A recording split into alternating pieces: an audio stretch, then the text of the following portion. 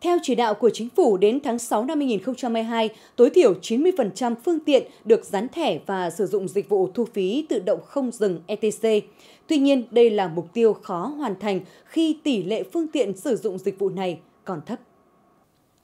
Quốc lộ 5 là tuyến đường huyết mạch nối thủ đô Hà Nội với thành phố Hải Phòng, dài 116 km, có hai trạm thu phí đặt tại Hưng Yên và Hải Phòng. Hai trạm thu phí trên tuyến quốc lộ này được bố trí làm các làn nằm giữa theo hướng mỗi chiều xe có làn không từng nhằm giảm ồn tắc giao thông.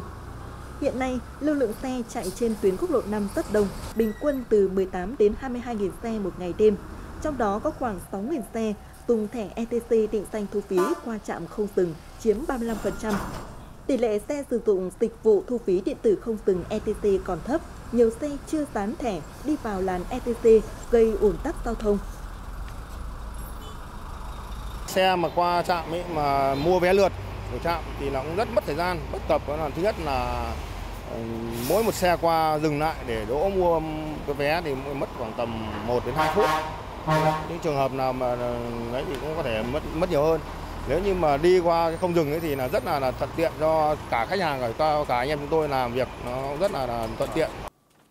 Để hỗ trợ các chủ phương tiện, mỗi trạm thu phí trên quốc lộ 5 và tuyến nối cao tốc Hà Nội Hải Phòng thuận lợi, công ty trách nhiệm hữu hạn thu phí tự động VETC bố trí các điểm cung cấp dịch vụ sán thẻ, mở tài khoản giao thông miễn phí sán thẻ lần đầu. Các xe đã nạp tiền vào tài khoản giao thông sán thẻ thu phí tự động ETAC. Khi lưu thông vào làn không dừng thì barrier tự động mở. Việc thu phí không dừng sẽ giảm ùn tắc giao thông tại trạm và tiết kiệm thời gian cho chủ xe.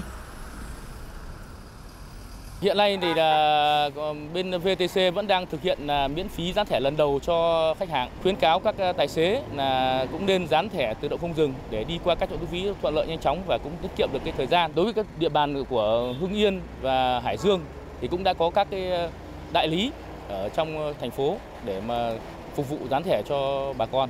Bên trạm thu phí số 105 này thì hiện tại thì mới được khoảng cỡ 30% thôi so với cái lưu lượng bình quân ngày khoảng 22.000 lượt xe thì mới khoảng 30% đã đã dán thẻ để xe đi qua. Ngày 4 tháng 3 năm 2022, Ủy ban Nhân dân tỉnh đã có công văn số 483 yêu cầu các sở ban ngành, hội đoàn thể tỉnh và Ủy ban Nhân dân các huyện, thị xã, thành phố chỉ đạo đối với toàn bộ phương tiện ô tô thuộc phạm vi quản lý của cơ quan đơn vị, người lao động, đơn vị doanh nghiệp trên địa bàn triển khai dán thẻ định danh đối với xe ô tô sử dụng dịch vụ thu phí giao thông đường bộ qua trạm thu phí ETC theo hình thức điện tử không dừng. Hiện tỉnh Hưng Yên có 3 trạm thu phí đều đã áp dụng hình thức thu phí không dừng. Tài xế nên đăng ký sử dụng dịch vụ thu phí không dừng của EPAS khi đi qua các trạm thu phí Hưng Yên để hưởng những lợi ích của hình thức thu phí này và hành trình đi lại suôn sẻ hơn.